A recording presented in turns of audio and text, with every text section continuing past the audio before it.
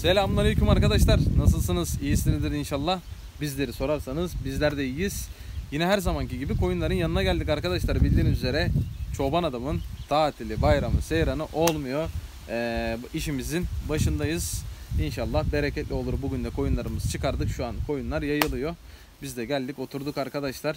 Yaklaşık olarak 3 günden beri de burada güzel yağmur yağıyordu. Ee, koyunlar yeşillik bulmaya artık zorlanmıyorlar arkadaşlar. Otlar hemen fırladı diyebilirim. Ee, sütümüz de düşmedi. Hala da aynı şekilde devam ediyor. Geçen sene bu zamanlar otlar buralarda kurulaşmıştı arkadaşlar. Artık kuru tarza dönmüştü.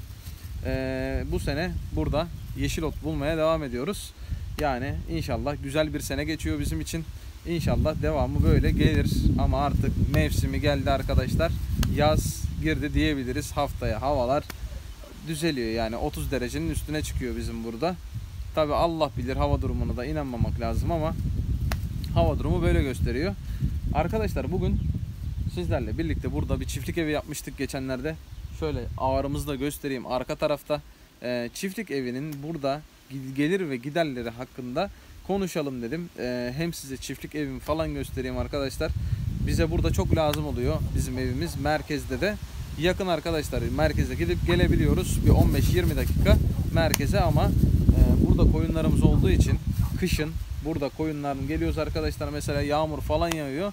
Yağmur yağdığı için kışın buraya geliyoruz hemen hazır üstümüzü başımızı değiştirmemiz lazım. Ya da üstümüzü başımızı kurutmamız lazım arkadaşlar. Çünkü e, yağmur yağıyor buradan gidemiyoruz falan burada konaklıyoruz. Hatta geceleri burada kalıyoruz arkadaşlar. Çünkü kışın koyunlar doğurmaya başlıyor. Koyunlar doğurmaya başladığı için de mesela e, şişek koyunlar oluyor. Onlar doğurmakta zorlanıyor. Onun için burada onların başını bekliyor diyebiliriz arkadaşlar. E, şimdi bir içeri girelim. Size çiftlik evi olarak neler yaptık? Ne kadar ucuz maliyet getirdik? işte içine ne koyduk falan filan. Bunlar hakkında da bir görüşelim arkadaşlar. Hem bir siz evimizi görmüş olursunuz. Ee, orta derecede diyebilirim arkadaşlar. Bizim için süper ama sizin için orta derecede diyebilirim. Ee, bir köy evi gibi oldu. İnşallah ee, burada konaklıyoruz. Şimdi içeri girelim arkadaşlar. Bir size içerisini göstereyim. İnşallah beğenirsiniz. Kanalıma abone olarak bana da destek olmayı unutmayın diyorum. Hadi şimdi gelin içeri girelim. Evet arkadaşlar şöyle karşıdan göstereyim. Çiftlik evimizin karşıdan görünüşü bu şekilde. E, havalar soğuk olduğu için böyle arkadaşlar bir tane e, şey yaptık. Perde gibisinden sinek girmesin içeriye diye. Bir tane de oraya halı çaktık arkadaşlar. Çünkü bayağı serin oluyordu burası. Kışın e, burası çay kenarı olduğu için serin oluyordu. İçeride böyle bir şey girmesin dedik arkadaşlar. Şöyle konumunu da göstereyim size. Çınar ağaçlarının altındayız arkadaşlar. Şöyle Baya biraz daha geriye gideyim. Tam çınar ağacının böyle altında kalıyor burası. Bu şekilde de evimizle ağırımızın arası da arkadaşlar baya yakın. Yani bir 100 metre 150 metre 100 metre falandır arkadaşlar 150 metre yoktur.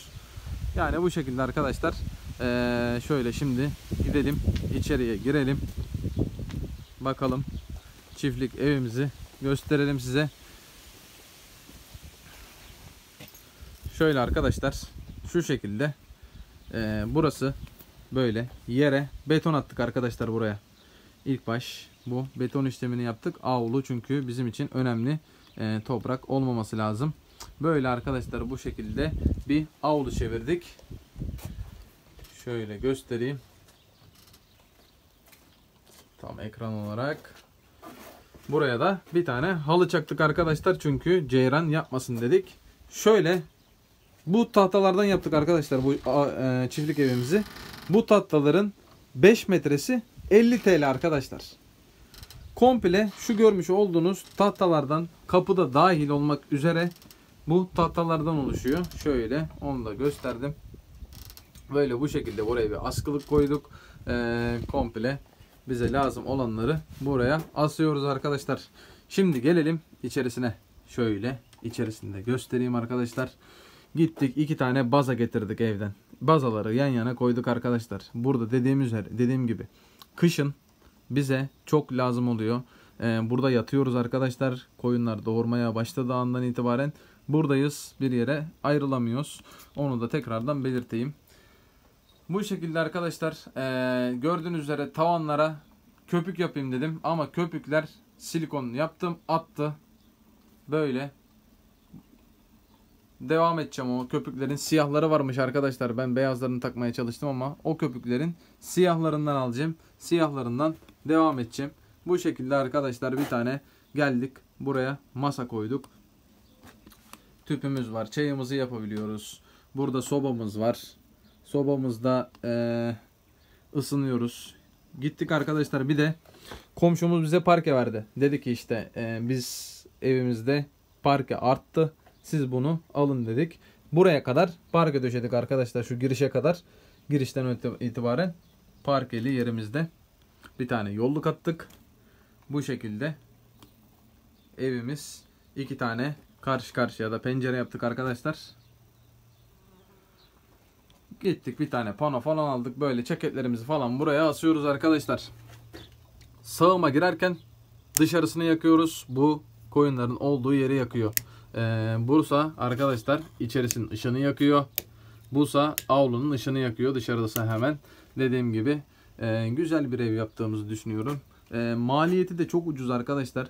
Bu evimizin maliyeti yaklaşık olarak bize iki buçuk falan bu şekilde mal oldu. Tabi bazaları falan hesaplamıyorum. Yani iki buçuk bile yoktur arkadaşlar da biz köpük falan aldık böyle solucan falan filan girmesin diye gördüğünüz gibi bakın buralara böyle köpük sıktık. Yani böcekti, börtüdü bir şey girmesin dedik. Şöyle göstereyim içerisinde tam olarak. Böyle yani arkadaşlar. Televizyonumuz da var burada. Çalışıyor. Ee, onu neyle çalıştırıyorsunuz derseniz arkadaşlar. Burada güneş paneli var. Burada arkadaşlar hem elektrik sorunu var. Hem su sorunu var. Burada su yok bildiğiniz üzere bakın merkezden toplayıp geliyoruz böyle bir bidon aldık.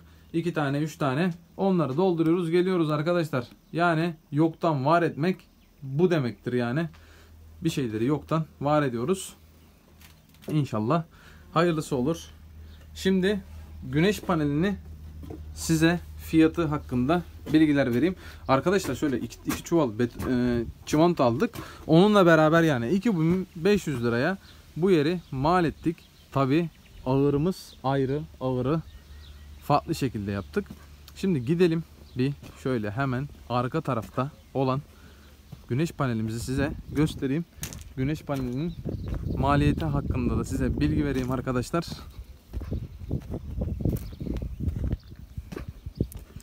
Evet. Güneş panelimiz bu şekilde. Ee, fazla büyük değil arkadaşlar. Burada bir tane televizyon, ee, içeride ahırda bir tane elektrik, avluda bir tane elektrik ve de bir tane içeride elektrik, ee, avluda iki. Yani toplamda 5-6 adet falan elektrik şey lamba çalıştırıyor. Bir tane de televizyon çalıştırıyor. Bize yetiyor arkadaşlar. Böyle göstereyim. Bu şekilde bize yetip artıyor. Bu da televizyonumuzun olan anteni. Bakın size bir misafirimiz var. Onu göstereyim. Ki onu göstermeden önce bunun maliyetini de göstereyim söyleyeyim arkadaşlar. Bunu 2000 liraya aldık. İçeride bir tane de akü var arkadaşlar. Aküyü de 500 liraya aldık. Yani bize maliyeti toplam 2500 lira. Burada elektrik masrafımız. Güneş çıkınca da burası bayağı yani bir saat güneş aldıktan sonra arkadaşlar sabahtan akşama kadar bu burada yanıyor. Tüpçü dükkanı gibi olmuş burası da. Babam getirdiği sütleri buraya biriktiriyor arkadaşlar. Bakın burada kim var? Kimi gösteriyorum size. Efsun. Efsun. Kız. Efsun yine bir tane kemik bulmuş. Kemikli oynuyor. Yaptığı her şey hokkabazlık Efsun. Evet arkadaşlar. Şöyle evimizin arkasına arkasına değil de şöyle bir tente gibi bir şeyler yaptık böyle arkadaşlar. Ee, yazın tahta yani tahta olan şey ee, sıcak almasın dedik. Onun için böyle bir tentele de burayı kapattık. Şimdi buralara artık arkadaşlar güzel bir şekilde toparlamamız lazım. Bakın burası evimizin girişi. Buraya beton dökeceğiz 2-3 gün sonra. Burası böyle beton olacak arkadaşlar tam şuraya kadar. Tam motorun tekerleğinin olduğu yere kadar böyle beton olacak. Ondan sonra şöyle yan tarafına da beton dökeriz. Şöyle yan tarafına da beton dökeriz arkadaşlar. Peki burada su sorunu nasıl oluyor? Burada arkadaşlar su sorunu gördüğünüz üzere yerdeki hortum devlet suyuna gidiyor. Devlet suyundan vanayı açıyorsun. Haftanın belirli günleri bu su burada akıyor arkadaşlar. Şurada görmüş olduğunuz 2 tonluk galiba 2 tonluk suyu dolduruyoruz bu su açıldığında. Ondan sonra işimizi görüyor arkadaşlar. Biz kendimiz zaten evden getiriyoruz. Bu da evimizin karşıdan görünüşü diyebilirim sizlere.